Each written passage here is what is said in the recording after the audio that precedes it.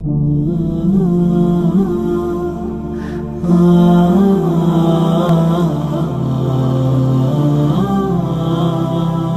sister. Eliana, non Muslim, by qualification teacher. Thank you very much for very interesting lecture. I have one question. I find it immoral and vulgar for a Muslim to have more than one wife. What do you think about this?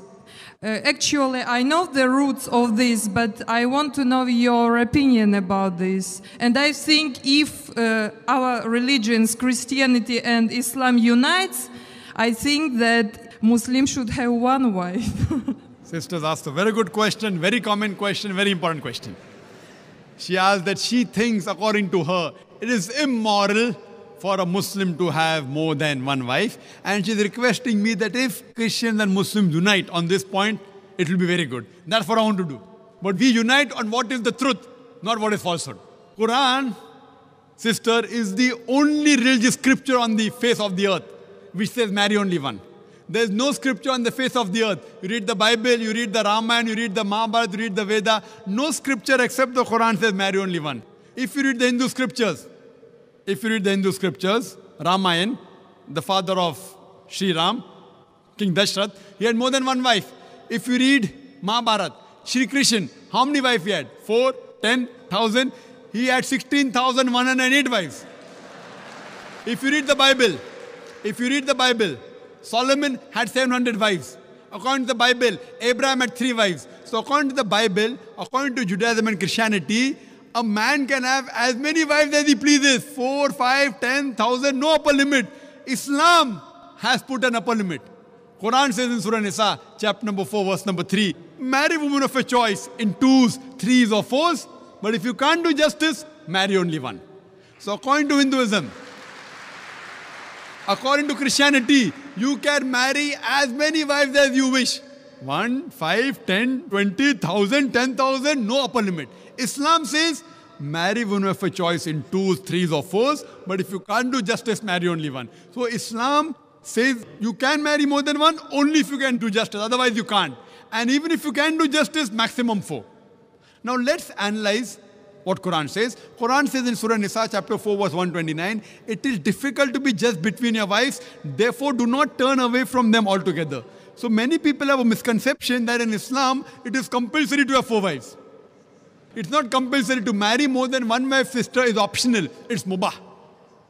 But if you marry more than one wife, and if you can't do justice, then you have a problem. Now let us understand what are the logical reasons, sister. I'll give the logical reasons, and then if you want, you can counter question. The logical reason why Islam gives permission for some people to have more than one wife.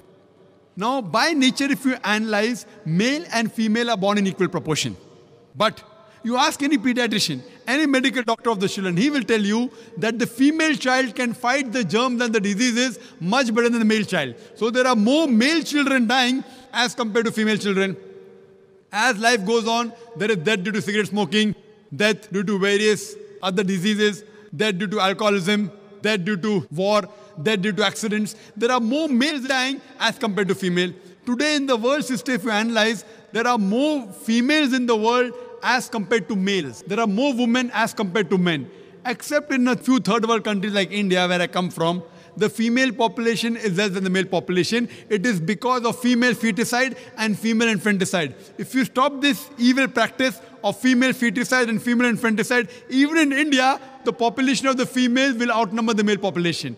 Today, according to statistics, in New York alone, there are more than 1 million females more than males. In USA alone, there are 7.8 million female more than males. In Germany alone, there are 5 million female more than males. In UK alone, there are 4 million female more than males. In Russia alone, there are 9 million female more than males. And God alone knows how many millions of females are more than males throughout the world. Suppose I agree with you hypothetically that one man should marry only one woman. And if my sister happens to live in America, and if the market is saturated, or if your sister happens to live in America, and if the market is saturated, every man has found a woman for himself. Yet there will be 7.8 million females who will not find life partners. The only option remaining for these 7.8 million females is that they either marry a man who already has a wife or become public property. People will say, public property. Zakir, such a harsh word. It is the most sophisticated word I can use. I can't use a better word than that. You either marry a man who already has a wife or become public property. There's no third option. So now if we analyze in USA, according to American statistics, a common American on average has eight different sexual partners before he settles down with one. That means some may have two, some may have 10, some may have 20. Eight different sexual partners before he settles down with one. And you can have as many mistresses as you want. One, 10, 20, no problem. But legal wife more than one, it doesn't go down the throat. And you ask any modest woman, if a woman becomes the second legal wife of a man, she gets respect, she gets honor, she gets the rights. If you become a mistress, there's no honor, there are no rights, she's degraded. So Islam has the solution to the problems of humankind. Today, there are more women in the world than the men. According to me, Islam has permitted some men to have more than one wife so that the woman can live modestly. Otherwise, it's not possible. I do agree with you, sister. I do agree with you, sister, that a woman would not like to share a husband. I agree with you. That a woman would not like to share a husband, but no woman under normal circumstances would like a husband to marry one more woman. But the Islamic Sharia says, let a small loss take place to prevent a big loss. A good Muslimah, a good Muslim woman who knows the world scenario, she would not mind taking a small loss that is sharing a husband to prevent a big loss that is making a sister becoming a public property. Yes, sister. You have any? I said immoral because if a woman has more than one man, she is a bad woman. But if a man has more than uh, one woman, he is o- it's okay, yeah? That's a very good question. Sisters asked the question that if a man has more than one woman, he's a good man. No. If a man has more than one wife, no problem. But if he has more than one woman, even he's a bad man. Like in America, one man has got four mistresses, five mistresses, ten mistresses. Even in India, he's a bad man. But if he has a legal wife, if he does nikah, if he marries her, gives her due rights, gives her mahr, equal time, equal justice, then he's a good man. But now the counter question, why can't a woman have more than one husband, correct? Is that your question? Uh, Is your question that why can't a woman have more I, than I one was husband? thinking that in case if female population increases and male population decreases, so female can have two or three husbands. That's a very good question. You have the hypothetical question. But Almighty God, who's our creator, He knows better than you and me. He's our creator. And the reason, because God has made the woman a stronger sex. She is medically more stronger than the man. You know that? I'm a medical doctor, sister. Medically, a woman can live for longer years than a man. We think the man is strong. Physically, man is strong. But medically, the woman is stronger. She lives longer. Her longevity, the average span of a woman is few years more than a man. There are less deaths in the pediatric age group. And regarding your main question, that Islam allows polygyny, a man to have more than one wife, but does not allow polyandry, that is, a woman to have more than one husband. Why? The reason is that if a man has more than one wife, and if a child is born, you can easily identify who is the father and who is the mother. But if a woman has more than one husband, and if the child is born, you can identify the mother, but you can't identify the father.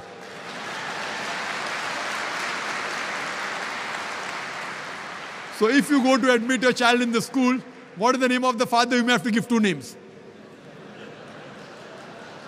Now we know that medical science is advanced by DNA, genetic coding. We can come to know who the father, but that is now, not in the past. Islam is there since time immemorial. And this is not the only reason. Furthermore, there are various other reasons. Man is biologically more sexual as compared to the woman.